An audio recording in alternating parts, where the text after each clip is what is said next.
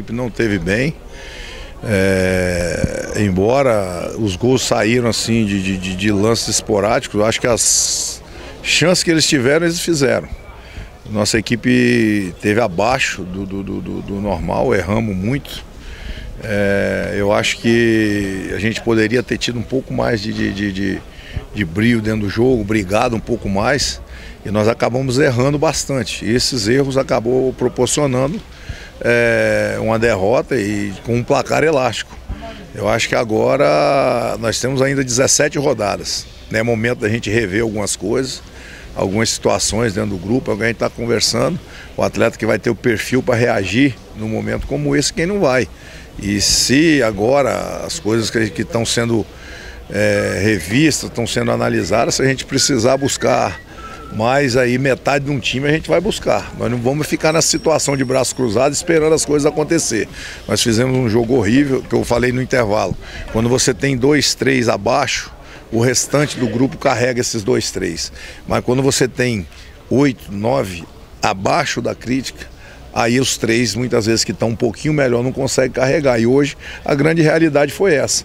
Então, eu, o que eu falei para os atletas, você até perde um jogo, mas você tem que ter dignidade para perder, como você tem que ter quando ganha. Então, levantar a cabeça, nós perdemos, perdemos, não jogamos nada, nós temos que, que, que ser realistas, não adianta que eu ficar inventando uma história para vocês aqui, que quem veio aqui, assistiu, viu que, que foi aí dentro de campo, e nós precisamos tomar uma postura diferente no, já no jogo diante do Guarani no, no domingo aqui, fazer um resultado de qualquer maneira, se a gente pensa é, em alguma coisa ainda dentro da competição. Se precisar mexer, mudar alguma coisa, a gente vai mudar. Eu acho que o que precisa aqui hoje é, é, é uma atitude diferente.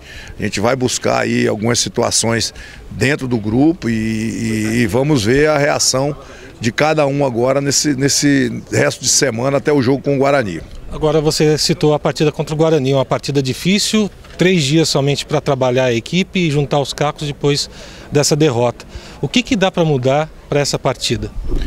O que dá para mudar agora é a gente procurar descansar a maioria desses atletas que jogaram nesse jogo e que vão estar à disposição para o jogo.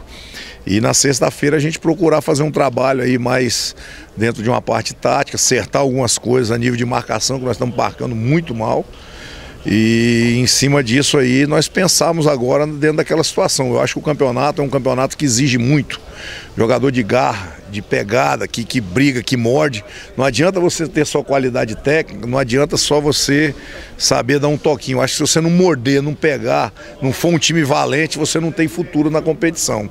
E a gente está buscando essa avaliação aí. Quem demonstrar isso daqui para frente vai ganhar o espaço dele dentro do time. Agora, Rui, você é um técnico vencedor, já conquistou acessos, está aqui no São José numa situação que não é a ideal também pode ter a pressão da torcida.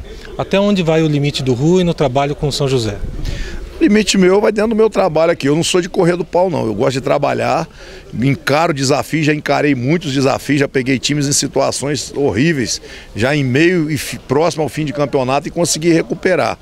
É, a questão maior toda aqui é a confiança da diretoria, da própria torcida. Eles têm razão de cobrar, de, de reclamar, eles não estão errados. Eu acho que você chegar e jogar um jogo como nós jogamos hoje aqui, ter uma derrota dessa é vexatório.